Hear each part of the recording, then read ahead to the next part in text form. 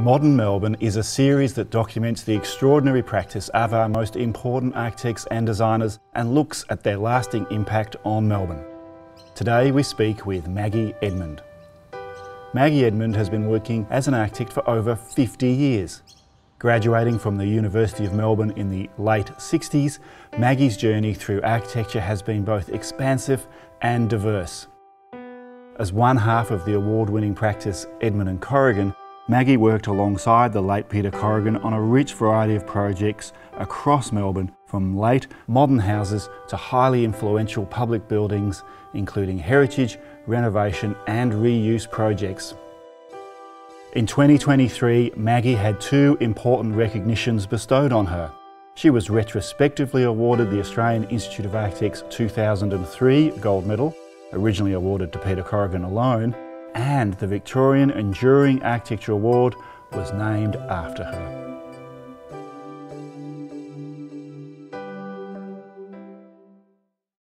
Maggie Edmond, thanks for joining me in this wonderful room here at the Academic Centre at Newman College at the University of Melbourne, where you studied, of course, and we'll come back to that in a bit later. But today I wanted to talk about your journey through architecture and your story.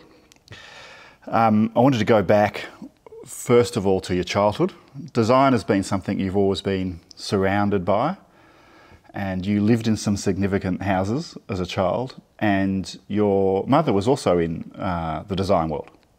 I, I could say that my childhood was all about design, all about space, all about colour, and the interaction between all of those the houses I lived in. A grounds and a Boyd? A grounds and a Boyd with a couple in between. Uh, apartments initially. The grounds building was Quamby in Toorak. During that time, my parents looked at so many houses looking for their dream house, but narrowing it down to the bayside suburbs of Beaumaris and Black Rock where there was a, a bevy of very contemporary modernist houses being built, and the streets were not made, and the beach was close by. They lucked in with a Robin Boyd house on Beach Road. And also during that time, my parents were both working in the city. And I had a childhood in the city as well as in the residential area they were in fashion. They had a showroom in Flinders Lane and a workroom on the first floor of the Block Arcade in Collins Street. And my childhood memories were of walking from one to the other, taking rolls of fabric, sometimes taking garments. I felt like I was part of the city. I had a, a city imprint. I knew what streets were what and where places were. And I was under 10. So it was a childhood as much about the houses I lived in as about the city that was the centre of Melbourne. And that's where your interest in architecture started, and through those houses, through your parents working in fashion, and through that very urban experience of Melbourne. I was embedded in it. Uh, passion might have come from a book called The Queen's Doll's House, uh, a pretty little book that dissected the Queen's actual dollhouse. It had plans, it had, well, it was a cross section of a house, lots of little bits of furniture, and uh, and that stayed with me for quite a while. It was I didn't have the doll's house; it was the book and the pictures of the doll's house. That and the just all the memories of all the places that we went to. So Maggie here, the Academic Centre at Newman College, um, a little crystal really in this sort of wonderful garden landscape, which the, the Griffins of course contributed to significantly. What were some of the reflections of this project? I remember uh, being in the office uh, and there just being hundreds of models of it floating around. I recall that this building had more options for the final design than just about any other project in the office. But the project was for both Newman College and St Mary's. At the time, there was a big fence between the two single gender colleges, and the building was symbolic of the taking down of the fence and for both colleges to embrace the world of ideas and the world of literature and the world of togetherness. So we had the, the rectors of both colleges together with the patrons for the building coming to our shabby little office, three floors up, and we worked with them in a very special way to have this building. And at the heart of it is this wonderful atrium space, which is incredibly generous um, and a wonderful space to, to be in. It really holds the whole project together.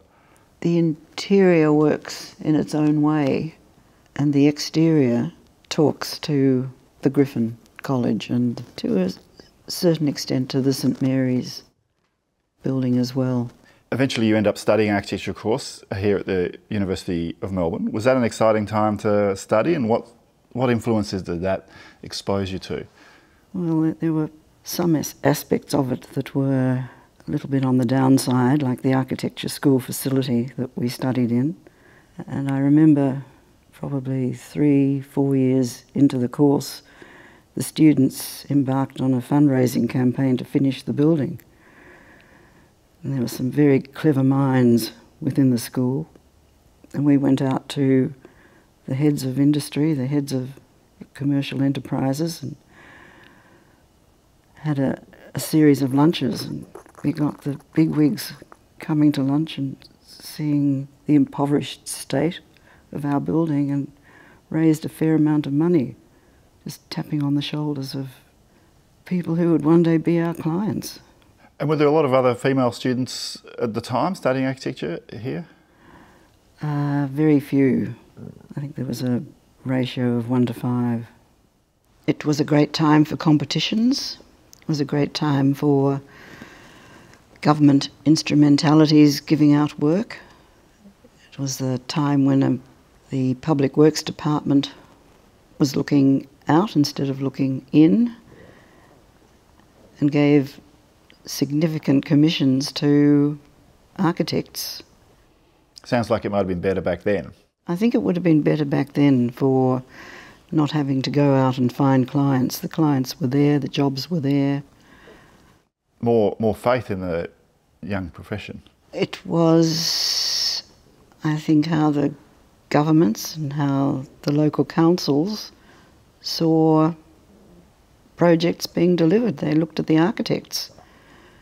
And of course, the late 60s, you know, often hear a lot about the late 60s and a time of big societal change. Was the architecture profession just sort of steady as she goes, sort of not feeling that same cultural change? The profession was like the other professions. Um, I remember we were told that if you have an architecture practice, you must have three partners. One partner would be the design architect, one partner would be the office manager, uh, and the third partner would do lunch. The business. The get business. The, get the work. Get the work. Weirdly, that, that adage was still floating around when I graduated as an idea. Um, as, a, as a success. Obviously, you didn't do that. Uh, almost. Almost. Almost, yes. When Peter asked me if I'd join him in a practice, he said, Oh, there's one other person coming in too.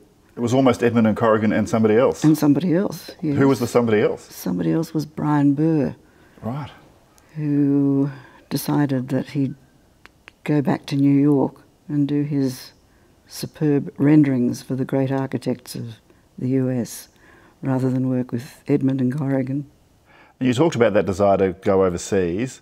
You didn't, you didn't do that so much. You stayed here and you started working in offices in Melbourne after graduating. Who did you work for and was that, was that influential? After graduation, I had two little children right. to look after. It wasn't until I'd had the children for a couple of years that I put my foot down and said, I have to work. I'd been working on the board at home, working on the kitchen table.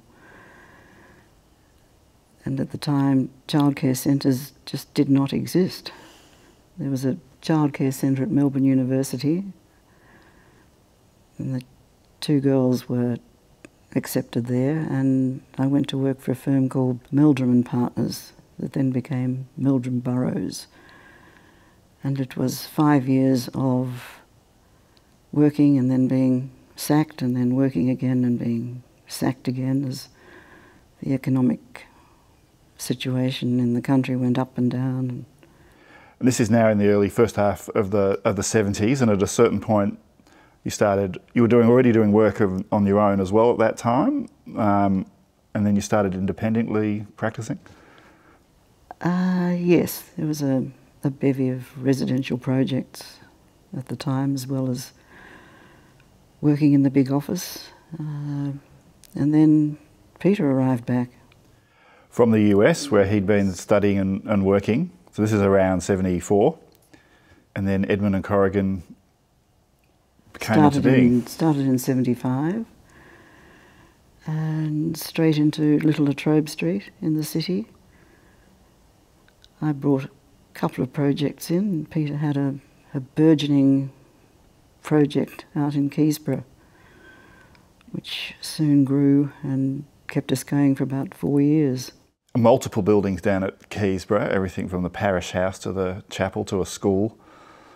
To a childcare centre, to a old people's accommodation. Uh, it was almost a lifetime of work in one project. There wasn't exactly a balance when the firm started. Peter, having come from seven years in the US, working with some of the greatest architects that have ever been, uh, sitting at the feet of other great architects as a student.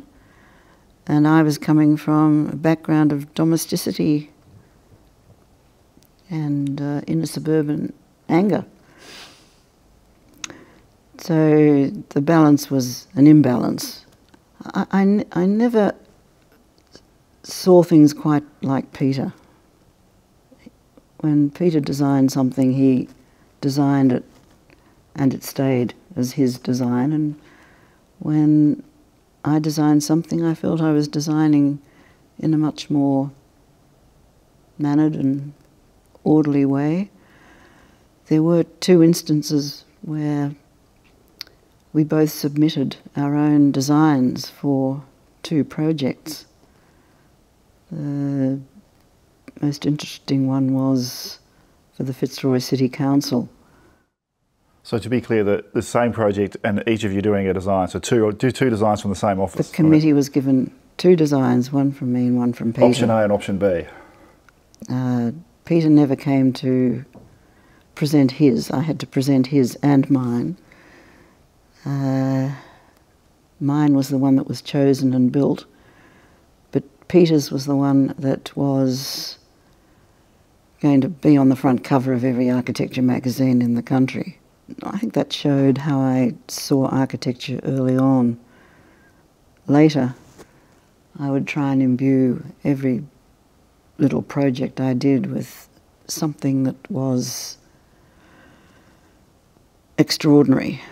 One of those projects you brought into Edmond and Corrigan when it started was the Patford House in Fitzroy, which is a house I've always loved. Um, and this is a great little offset concrete block house. It's very generous by today's standards. Published, of course, in Norman Day's little book in around 75, uh, Modern Houses Melbourne. Tell us a little bit about that house because I've always thought it was a real gem. The client had been the Mayor of Fitzroy. The block could have had uh, five townhouses on it. It broke every heritage rule that we abide by now. It was set on the diagonal, it was set away from the boundaries, it was built of concrete block. It's still there. Yeah, it's in great condition as well. It's it's survived all these years. And the original clients are still there. And this was a house finished in 74, 75. Yes.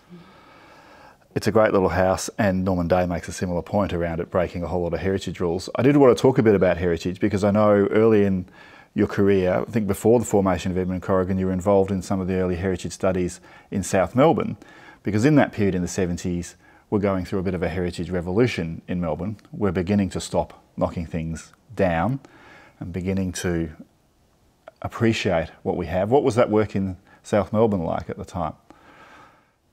That was a Yuncken Freeman project. And they were asked by the council to do a conservation study of South Melbourne. And my job was to draw all the streetscapes which were going to be in their report. It was the first heritage conservation study that was done in the inner suburbs. And it led to all the buildings and the streetscapes being graded, and then to the controls that led to, well, most of it was there. There were very few that had been knocked down in South Melbourne. The real problem was over in Fitzroy, in North Fitzroy, and the Brooks Crescent fight. Are you involved in that? And I was. Uh, I made the big model, which featured in all the publications. The publication I remember best is the little woman in Brooks Crescent with the gun in her hand, standing the front porch, and a slogan like "Keep out." did that campaign ultimately work? It did. Mm. Buildings were saved. The buildings were saved.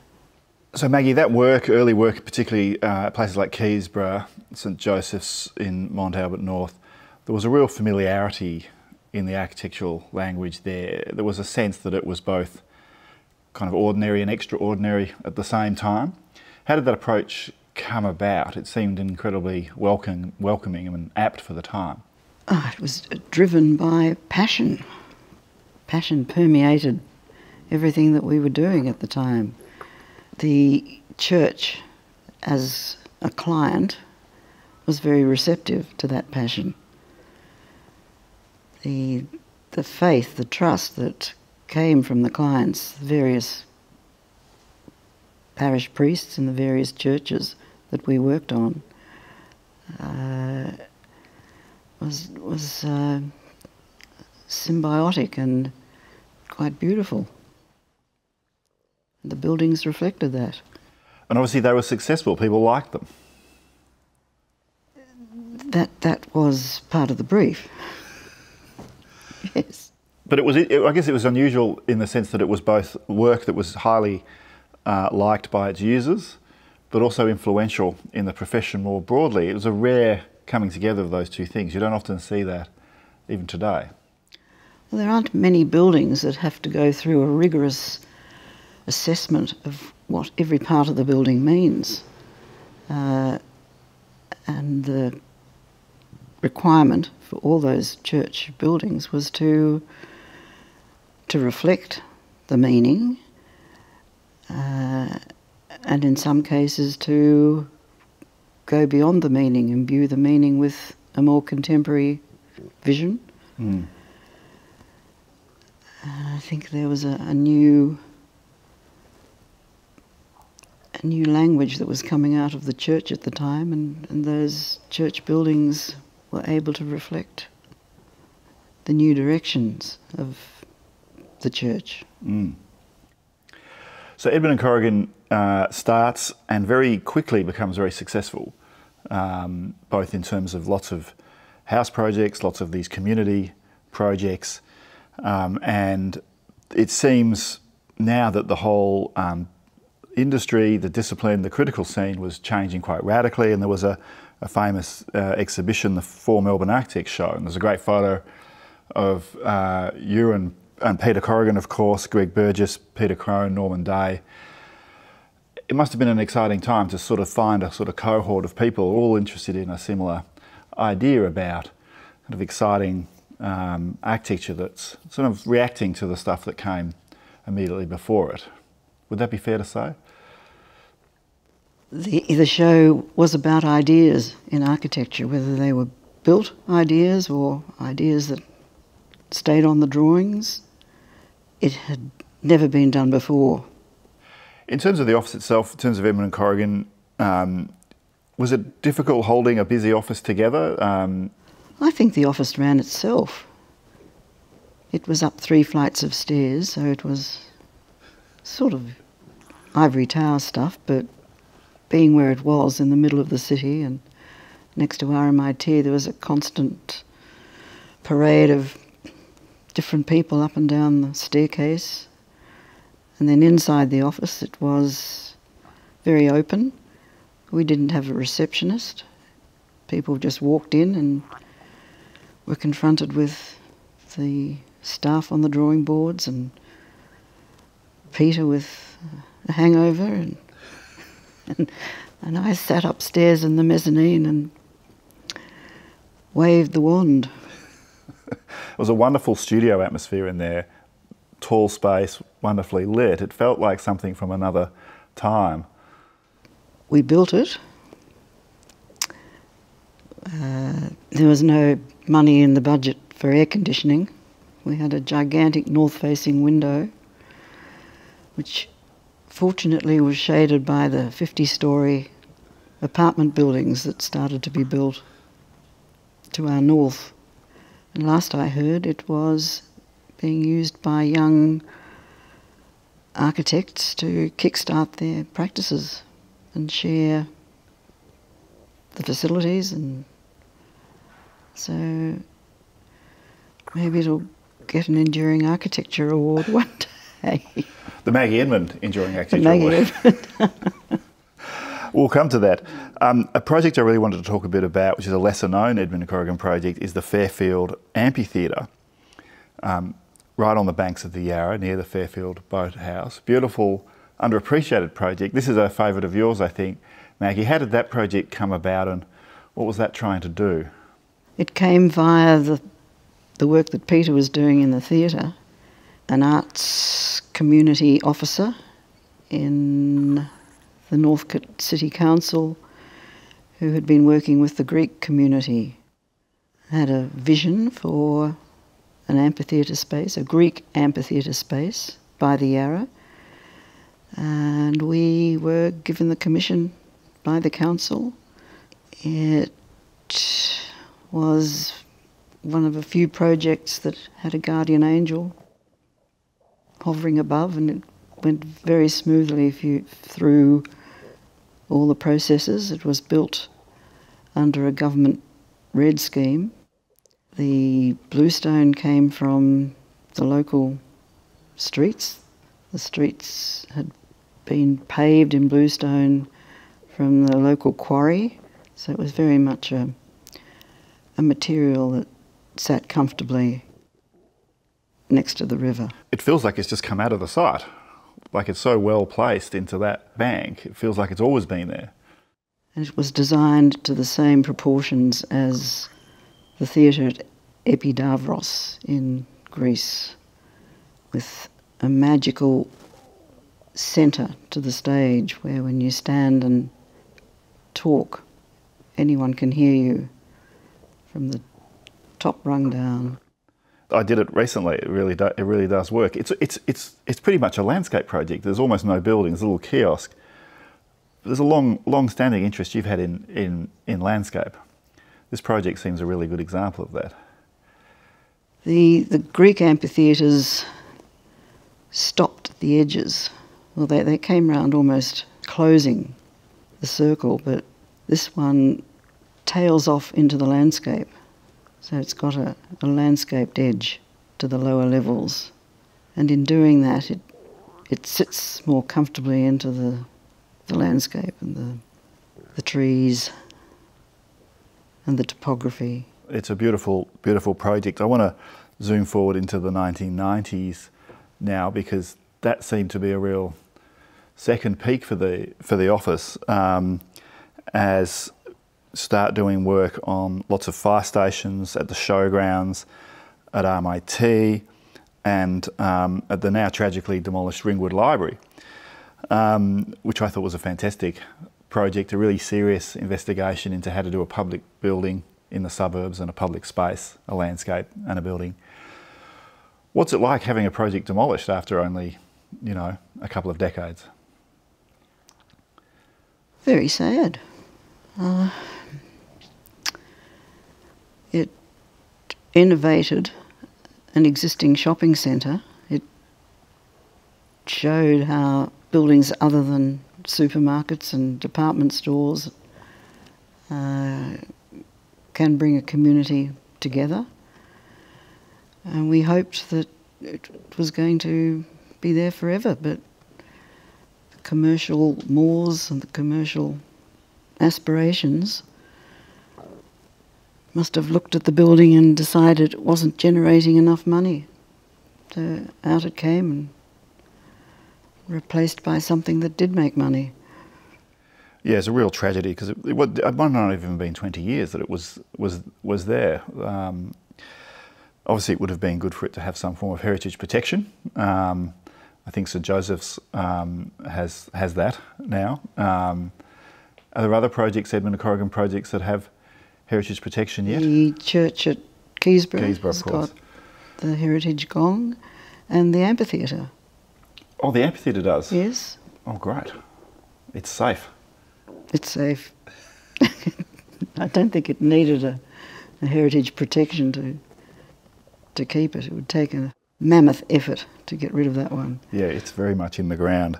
Um, of course, in the 90s, we also saw the work at RMIT Building 8, which was a complex project both architecturally and in terms of use, lots of student groups and departments. How was that project tackled and how did it change the office? It was the largest project I think the office had done. It was a four year project and we did nothing else but Building 8 in that time. Building 8 started off as an extension above the John Andrews three level building in Swanston Street, notable for its glass block panels in a zigzag form the original building can still be read, only just, with the other 12 levels that went above it being much more responsive to the city and the street pattern. It grew and grew as the support for tertiary education in the country increased. Uh, even when the builder was on site. We'd be given new instructions to put another couple of floors on, and then a year later, another couple of floors again. So, as the design architects for the project, we worked continuously on design even while the building was being constructed. More broadly, Maggie, is there a project that you would like to be remembered for, and why is that? I think that the three projects that Peter and I worked together on would be this one, the Athan House, and the amphitheatre. They're my favourites. Each of those have a unique relationship to what the office has stood for and to the clients that we worked with. Well, the project you mentioned there, of course, we're sitting in the, the academic centre here at Newman College. Newman College is hallowed ground in the architectural world. Of course, the work of the Marion Mahony uh, and Walter Burley Griffin here as well. Was it, as someone who's an alumni of the University of Melbourne, was it rewarding to come back and work at this site? The selection process for the project uh, wasn't driven by alumni, it was driven by husband and wife architecture firms. And the shortlisted firms were all husband and wife practices. That was the intention from that the. was the intention. Because of because of Mary Mahony and Walter Burley Griffin's legacy. To move forward with a similar combination of ideas coming emanating from the partnership. What a great procurement strategy. Um, and the Athan House, of course, you mentioned a very successful house out in Monbulk. Um, that would have been around 87, one of the key 80s projects. Late 80s? Yes. yes. There were a lot of significant houses in that period. These became quite big and quite complex. They became little cities almost in them in themselves. It was a, a multi generational house. There was a mm. a wing for the children. There was a wing for the the grandparents, and a wing for the parents, with a communal space that linked all of them. And that program was used in a few more houses that we did. And if the intergenerations weren't there, then there was a flexibility to ensure that they could be there. It's a wonderful house and widely published both in Australia and, and internationally. I think it made it into an edition of Sir Banister Fletcher's History of Architecture uh, at, one, at one point. I wanted to ask you, Maggie, a bit about um, projects and their legacy. Um, do you think about the projects a lot um, 30 or 40 years after they've been finished? Are they always with you? Yes. They're like children.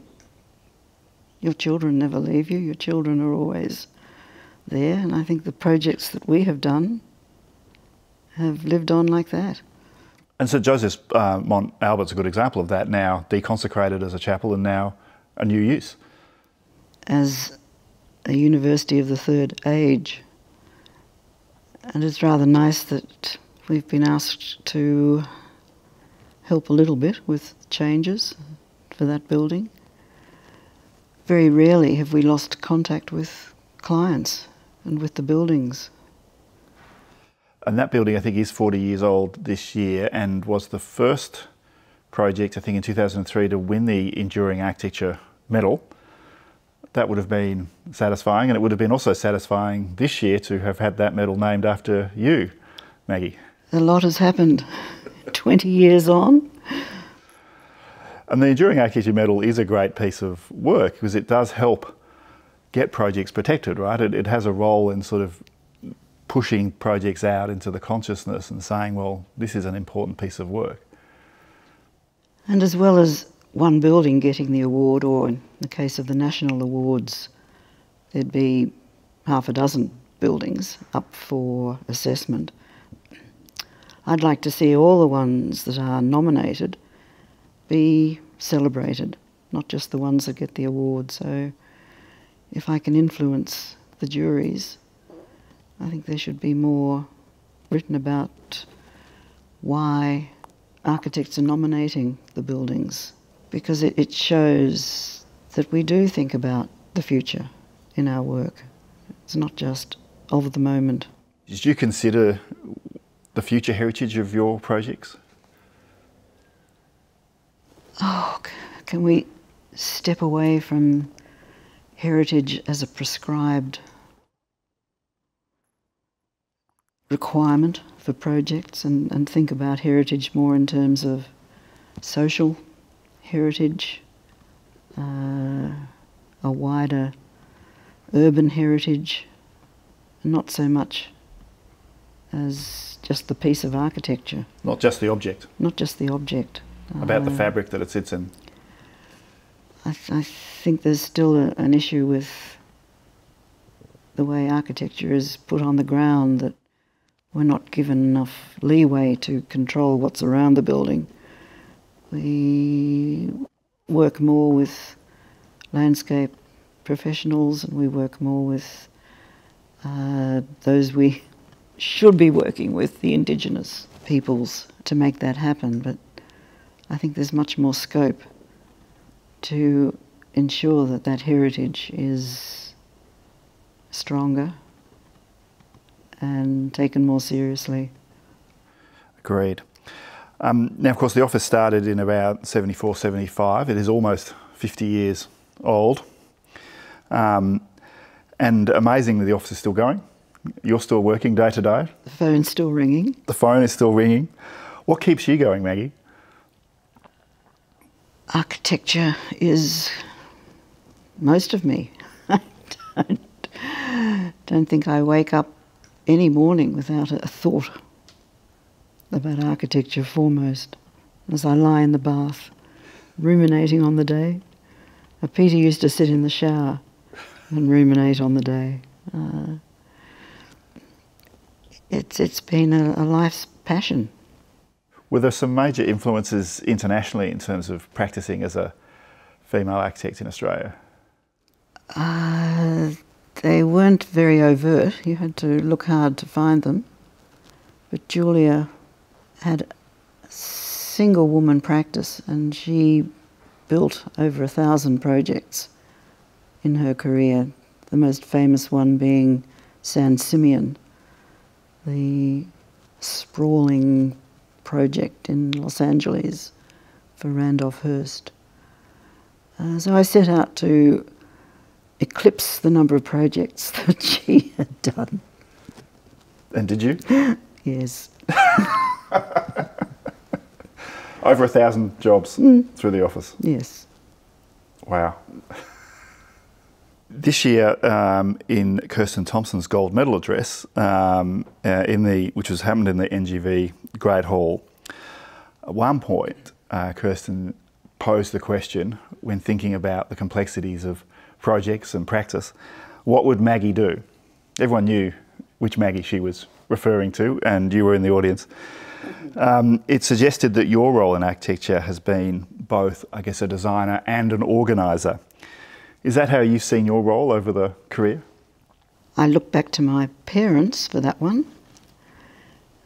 The mother was a bit of a bohemian beatnik. Uh, she was the style conscious, design conscious, bit of a larrikin. She and Peter got on very well. My father was of Vienna, very mild mannered, very orderly, very inquiring and and quiet. He had that Viennese charm about him. I think I've taken from both of them and but they come out separately, they haven't mixed. So I can switch from one to the other. Which is a good combination of skills to have as an architect. I also wanted to briefly mention, Maggie, that over the years in the profession, you've had a lot of involvement just outside of the office as well. Um, committees, boards, teaching. Why are all those other things important in, in being a kind of architect? Looking back on them, uh, there was something evangelistical about it. Uh, to immerse oneself in decision making in institutions like the Zoological Board, the State Film Centre, Deakin University. It was like being on the ground for the profession, being at the coalface of decision making about projects, and so a bit like an ambassador. You have to be in the room. You have to be in the room to get the message across. Uh, and I recall that I would strive to make sure that if they made decisions about who was going to design the buildings, they would be the right decisions and they were made democratically and instead of just getting the same old architect to do the next building and the next building and because they were comfortable with that particular firm. Mm. But I wasn't the only one doing that. There were other architects and, and women architects. I think the zoo board had a progression of four or five women architects after me, always there on the board. Advocating for good design. Yes. Um, back in 2003, your late partner Peter Corrigan was awarded the um, Institute of Architects Gold Medal, the, the highest honour for an architect in Australia. Uh, 20 years later, in uh, late 2023, this has been formally amended and now awarded to both you and Peter appropriately. Um, and it was great to see this oversight corrected What were your feelings about being on the stage in Canberra recently and, and accepting this belated honour? The jury was undivided in its conclusion that the work celebrated in the 2003 gold medal was that of the team. And so it is with great pleasure that I announce the 2003 gold medal be amended. I was sitting in the front row of the auditorium at the National Gallery of Australia, sitting next to Auntie Violet, who was there to give the welcome to country for the occasion. And Auntie Violet finished her welcome and came off the stage, and I was then invited to come up, and I was given the gold medal, and I couldn't see the audience. The lights were on the stage, not on the the auditorium. And I gather everybody stood up and clapped. You got a standing ovation. A standing ovation. Uh, I hope I, I did all the people who had worked to change the gold medal uh, their, their due, and I hope I did women in architecture a service. I hope I did the profession of architecture a service too, to show that the Institute is looking out and looking beyond. Well, it's a great recognition of a life spent in architecture. Thank you, Maggie Edmond. Thank you, Stuart.